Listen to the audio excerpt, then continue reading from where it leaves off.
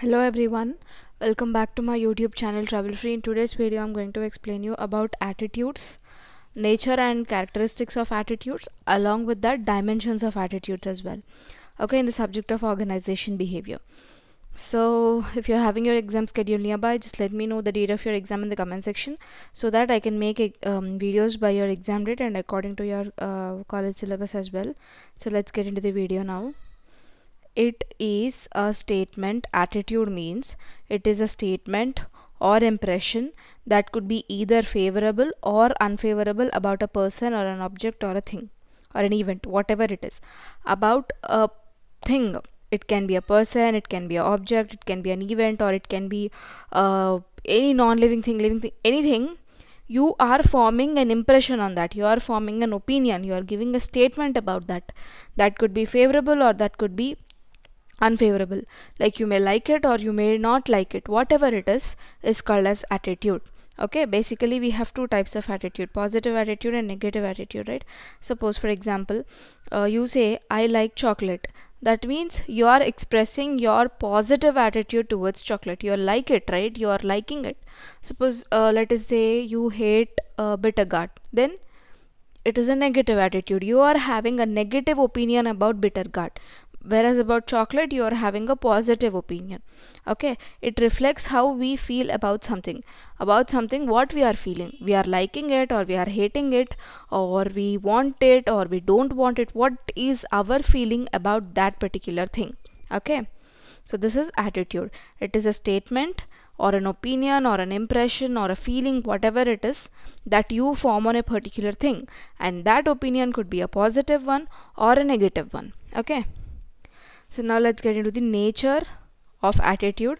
You can also say nature or characteristics as well.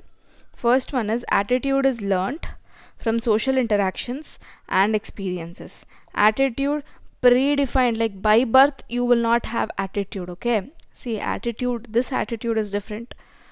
The attitude which we show towards others is different. Like we say he's having a lot of attitude you know? That is different. This is different. Attitude is nothing but behavior so it is learnt from social interactions and experiences. For example here i said i like chocolate. How did i say that i like chocolate? By birth itself did i say i like chocolate? No right. After uh, you know after eating chocolate for uh, two three times i found it tasty so i like it. And if i say i hate bittergourd then by birth itself i don't say i, I hate bittergourd right? After eating for some time after uh, for a few two to uh, three times i feel that the taste of bittergourd is a bit bitter so i cannot eat that so i don't like the taste okay? So you are not forming an impression just like that. You are learning it from the social interactions and experiences. For example social interactions means uh, for example uh, you have a person any your friend or any relative or any cousin or whoever it is some some person is there. You like that person or you don't like that person how do you form that opinion? Once you interact with them, once you talk with them, the way they are talking to you, the way they are responding back to you, based on all these things, you will decide whether you like that person or not. Right? So, yeah, let's get into the other point. We have, let's not waste more time on this point itself. Okay, next is attitude has an object. Has an object in the sense you are forming attitude on something right? It can be on a person or it can be on a place or an event or a thing or uh, anything. So it has an object. Suppose you are saying i like. I like has no meaning. I like chocolate has a meaning. Here chocolate is the object. I hate doesn't have any meaning. I hate you have to say what you hate right? That is the object. Next attitude influences the behavior obviously how you behave. And attitude is a stable thing it is not like perception. Stable thing is it is always constant. What is perception? Perception keep on it keeps on changing right? Based on the situation or based on the person or based on the uh, your mind based on your uh, state of mind at that point of time. Or depending on different different things the perception will keep on changing. But attitude is not like that. Attitude is a stable thing okay? Of course it changes but not as perception changes. Perception changes very rapidly. It changes very quickly. Got it? But whereas this attitude does not change that quickly. Got it? Now let us see about the components or dimensions of attitude. See we actually have three dimensions. Okay? First is cognitive second is affective and third is behavioral. So let us see what is cognitive component. The component of attitude which involves belief or knowledge or fact or idea or information whatever it is towards people things etc simple guys the attitude which is being developed due to the facts due to the beliefs.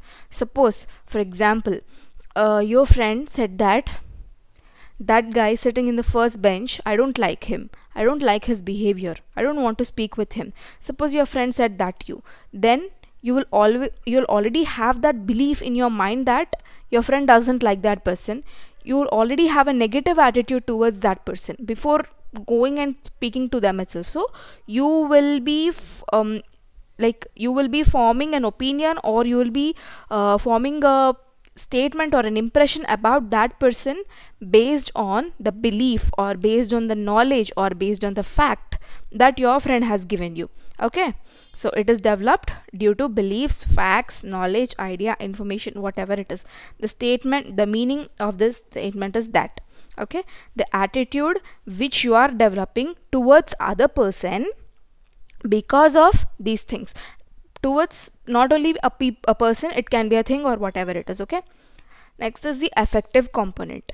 Affective component is nothing but the component of attitude which involves emotions or feelings towards people things etc so here we took beliefs knowledge facts idea information etc right? But instead of that we are developing an attitude because of the emotions and feelings we have towards the other people towards the other person or towards the other thing or whatever so feelings means it can be angry it can be sad it can be happy it can be uh, you know yeah love kind whatever like different different kinds of feelings can be there. Okay based on a feeling or an emotion you're forming a opinion. Next comes the behavioral component in behavioral component the component of attitude which involves actions towards. So that is the action performed by that person. So how that person is um, doing how that person is speaking how that person is the actions because of those actions whatever attitude is developed that will come under this behavioral component okay? So this is all about this video. In this video we learned what is attitude nature and dimensions of attitude. Okay? I hope this video is clear to you. Let's meet up in the next coming video with another topic. Till then if you're still having any doubts let me know in the comment section. Thanks for watching the video till the end